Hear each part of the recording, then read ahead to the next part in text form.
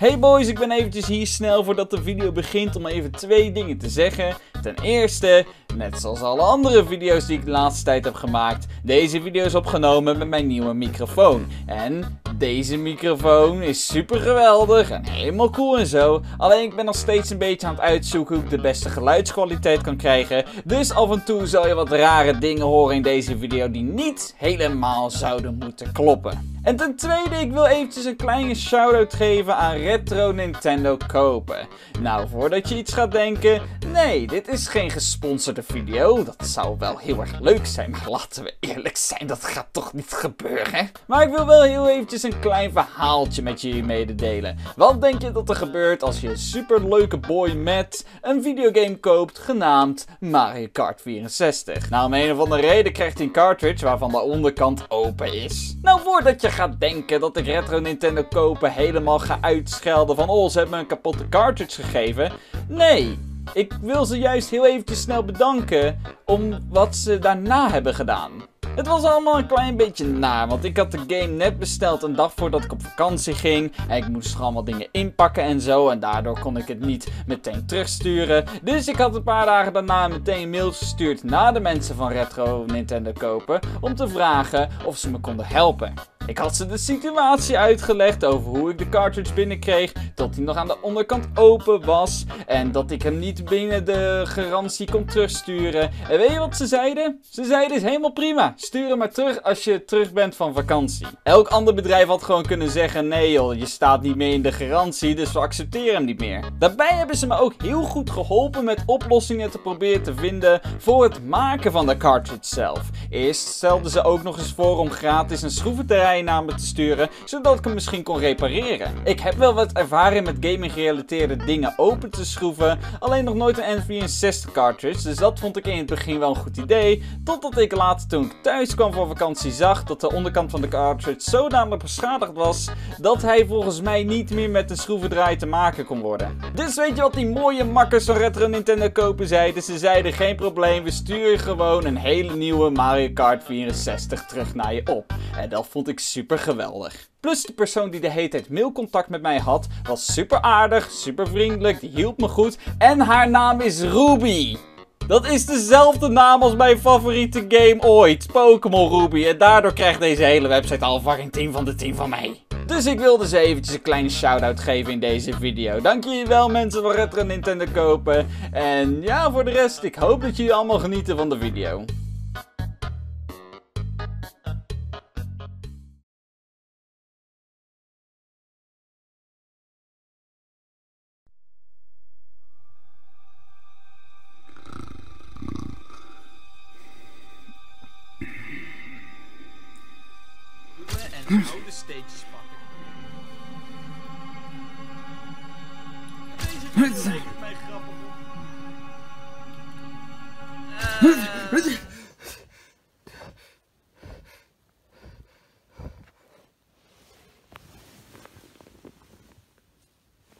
What the fuck? Oh, dit is niet goed. Dit is absoluut niet goed. Sinds dat ik die video heb gemaakt over Mario Kart kan ik alleen maar...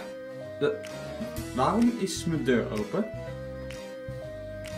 Hallo? Hallo Matt. Ja, oké, ik word gestalkt door Mario Kart games. Wil je niet een beetje Mario Kart spelen, Matt? Wil je niet een beetje lol hebben? Oké. Oké, jij, jij, jij, jij wil dat ik Mario Kart ga spelen? Ga ik wel fucking Mario Kart spelen. Fucking. Fucking. Game. Nou, je hoeft niet zo boos te doen. Aan de kant, dit is mijn stoel. Oh, Nou, wat zullen wij eens gaan spelen? En dat deed trouwens fucking veel pijn. Ik kwam tegen mijn boekenkast.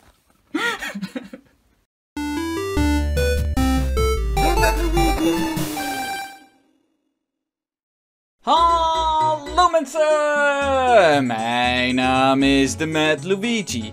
En ik heb best wel zin om wat Mario Kart te spelen momenteel. Misschien moet ik eventjes mijn N64 aansluiten en Mario Kart 64 een keer spelen. Ik heb die game niet zo heel veel gespeeld, dus laat hem even uitproberen.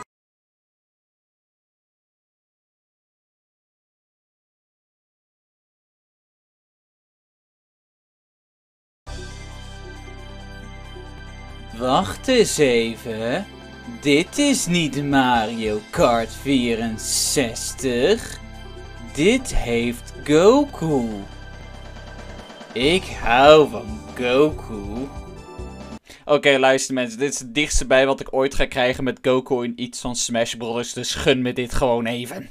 Dus vandaag nemen we weer een kijkje in de wereld van Mario Kart ROM-hacks. Vorige keer dat we dit deden was met Mario Kart Deluxe voor de Nintendo DS. En dat was een heel leuke video om te maken. Het was een beetje anders dan wat ik normaal deed. Dus ik dacht van, hé, hey, ik ga het nog een keer doen. Maar dan met Dragon Ball. Voor de mensen die Dragon Ball niet kennen...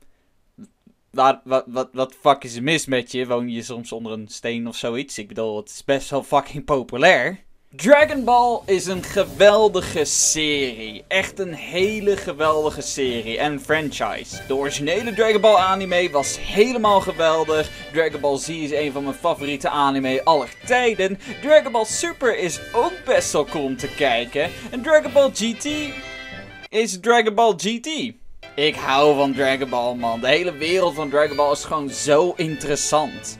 Dit is iets wat je niet zo heel veel terugziet in de wat nieuwere Dragon Ball shows. Maar vooral in de originele Dragon Ball en ook wat van Dragon Ball Z. Zie je heel erg veel van de wereld zelf. Het is gewoon een bijzonder en intrigerende wereld. Die heel erg leuk lijkt om naartoe te gaan. Naast de grote dinosaurusmonsters die je willen opeten. Niet alleen is de wereld van Dragon Ball geweldig, maar ook de personages. De originele cast van Dragon Ball personages zijn een paar van de beste personages in welke serie dan ook. Ze zijn allemaal heel erg uniek en leuk. En Frieza... Oh mijn god, Frieza is gewoon fantastisch. Ik bedoel, Dragon Ball is zo gigantisch goed in het maken van geweldige personages waar je heel veel van kan houden. Of die je echt gewoon keihard kan haten. Meestal. En de gevechten, man. Al de gevechten zijn zo episch. Ook al zijn de gevechten nooit echt zo heel erg groots geweest in de originele Dragon Ball. Dit begon echt pas een beetje tegen het eind van de originele serie aan. En het werd echt gigantisch in Dragon Ball Z.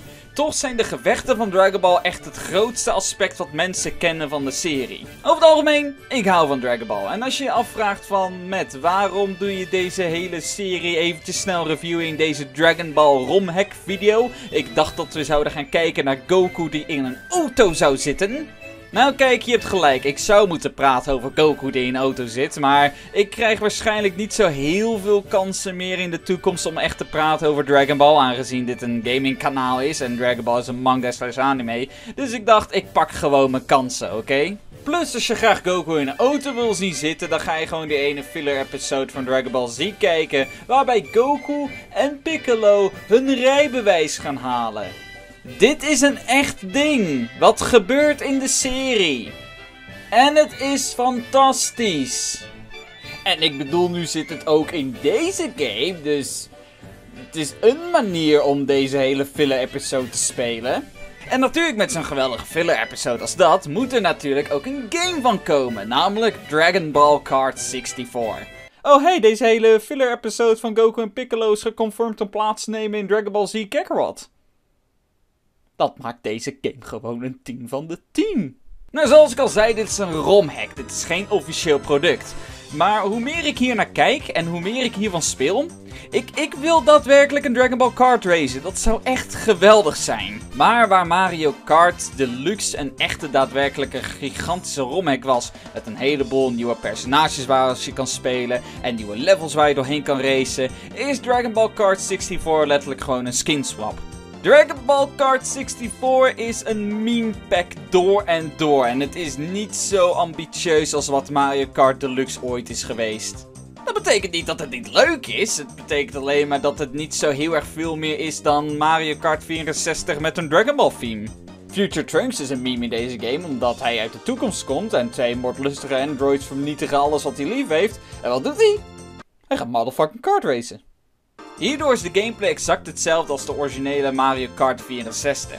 En ik moet eventjes iets bekennen, ik heb nog nooit Mario Kart 64 gespeeld tot het maken van deze video. Voor deze video denk ik dat ik maar voor Lord Beerus ga. Ik bedoel, hij is de god van destructie. Dan moet ik wel met hem winnen.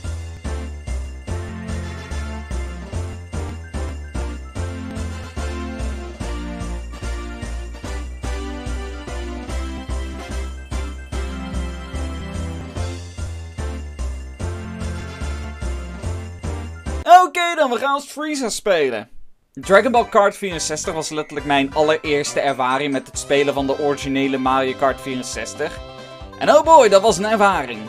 Voor nu wil ik zeggen dat ik eigenlijk niet zo heel erg goed snap waarom deze game de magnum opus van de Mario Kart serie wordt genoemd. Ik bedoel, ik hoor altijd zoveel mensen zeggen over hoe goed deze game is. En over hoeveel dingen je erin kan doen. En dat het zo'n geweldige multiplayer is. Nou, al die dingen zijn wel waar. Alleen niet helemaal. In tegenstelling tot de andere Mario Kart games heeft Mario Kart 64 bijna geen content wat je kan unlocken. Alles is al van tevoren geunlocked en het is gewoon puur om te racen. En aangezien Dragon Ball Kart 64 gewoon Mario Kart 64 is, maar dan Dragon Ball, zijn al deze problemen ook hier. Er was gewoon weinig voor mij om te doen tijdens het spelen van deze game. Gewoon racen en dat was het. Ik kon zelfs de battle mode niet uitproberen, want ik heb geen vrienden. Oh ja, en de emulator wilde mijn keyboard niet als tweede controle accepteren, dus ik kon gewoon niet de battle mode in. Nou, laten we nu daadwerkelijk praten over de daadwerkelijke gameplay. Je kan deze video soort van als review zien van Mario Kart 64, aangezien letterlijk alles wat ik te zeggen heb over Dragon Ball Kart 64 geldt voor Mario Kart 64 op het Dragon Ball aspect na. Maar Mario Kart 64 is echt het begin van modern Mario Kart. Het is echt heel erg duidelijk als je Super Mario Kart speelt en daarna meteen naar Mario Kart 64 gaat. De games spelen gigantisch anders. Maar dat betekent niet dat dit een perfecte Mario Kart game is. Het mag dan wel de eerste moderne Mario Kart zijn, maar het is niet de beste moderne Mario Kart. Tijdens het spelen van Dragon Ball Kart 64 moest ik heel erg wennen aan de game. Ik bedoel, als ik elke Mario Kart vanaf Double Dash oppak, dan ja, kan ik hem gewoon spelen. Want het is Mario Kart. Het is heel erg makkelijk. Elke game is praktisch gezien hetzelfde met wat aanpassingen hier en daar. Het driften werkt niet altijd even lekker, de collision is een beetje raar. En natuurlijk omdat dit een hele, hele early 3D game is, zie je niet altijd even goed waar je naartoe gaat. Maar nogmaals, dat betekent niet dat deze game niet leuk is. En het maakt het vooral leuk als je een Dragon Ball fan bent. Want nogmaals, Dragon Ball Kart zit vol met memes.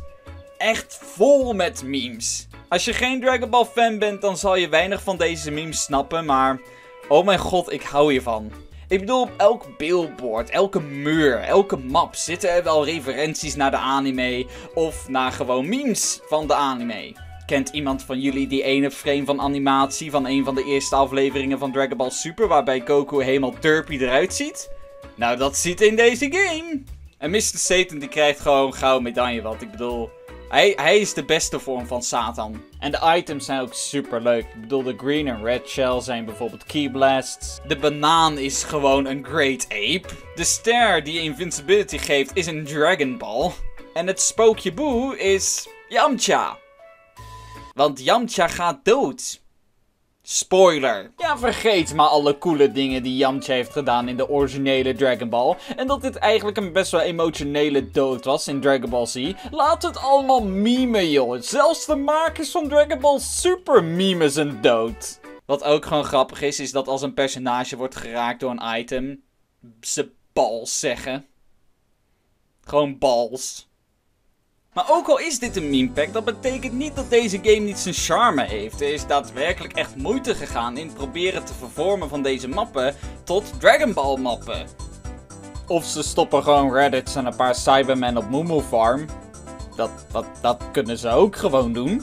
Dit is waarschijnlijk wel hoe een Dragon Ball Kart Racer op de N64 eruit zou moeten hebben gezien. Ja, het is heel erg duidelijk gewoon een resking van mappen van Mario Kart 64. Maar het ziet er met de nieuwe color schemes en de nieuwe textures toch wel uit alsof het daadwerkelijk uit de Dragon Ball wereld komt. Ik wil ook eventjes zeggen dat Mario Kart 64 een Japanse commercial had die een anime-stijl had. En daardoor past deze hele Dragon Ball stijl gewoon nog veel meer bij Mario Kart 64. Het is gewoon grappig. Maar aan de muziek is niks veranderd. Het is gewoon Mario Kart muziek. En het is geen probleem, want Mario Kart muziek is gewoon prima. Alleen ik had het wel leuk gevonden als er daadwerkelijk wat Dragon Ball themes in deze game zaten. Ik bedoel, Dragon Ball en Dragon Ball Z hebben echt fantastische soundtracks, dus had daar wat van in gedaan. Oh, en er zijn totaal geen sound effects. Gewoon echt helemaal niks. Je hoort geen auto's, je hoort geen personages praten. Alles is weg. Dit haalt een klein beetje wat van de lol van Mario Kart weg, aangezien sound effects toch wel een groot deel van de serie zijn. Alleen het doet meer. Het maakt bepaalde stages heel, heel raar. Eh. is, is. Is de game kapot? Ik. Ik, ik, ik, ik, ik, ik weet niet of de game. Die game, kapot is. Wa- wa- Waar, waar, waar is het geluid? Oh, ik, ik heb gewonnen. Yippie! Ja! Dus over het algemeen moet ik zeggen, Dragon Ball Kart 64 is heel grappig. Het is één grote Dragon Ball meme pack en het is denk ik mijn favoriete variatie van Mario Kart 64, omdat Goku weer in een auto zit. En ik moet zeggen, net zoals bij Mario Kart Deluxe is dit niet de meest recente update. Ik weet niet of er meer updates waren. Ik had deze ROM een tijdje geleden gedownload. Dus als er veranderingen zijn gemaakt in deze game, het spijt me dat ik dat niet weet, maar dit is hoe ik hem heb gespeeld. En over het algemeen moet ik zeggen, het is leuk. Stel je bent een beetje Dragon Ball fan en je hebt toevallig Mario Kart 64, dan zou ik zeggen, download deze ROM en ga met wat vrienden spelen. Want het kan echt fucking grappig worden. Want nogmaals, deze game zit vol met memes waar je echt keihard om kan lachen. Dus mensen, vonden jullie deze video leuk? Geef dan een like, abonneer zou ook al leuk zijn. En laat me weten wat jullie denken van Dragon Ball Kart 64. Vinden jullie het een leuke game? Ben je een beetje Dragon Ball fan zelf? Laat me weten. Ik wil het graag weten. En dan zie ik jullie de volgende keer weer. Eh, bye bye!